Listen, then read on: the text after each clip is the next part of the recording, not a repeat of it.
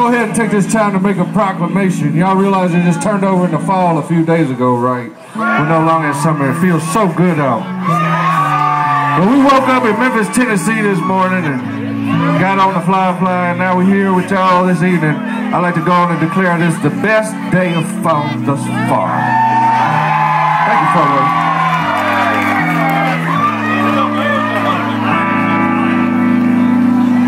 It's like going to church.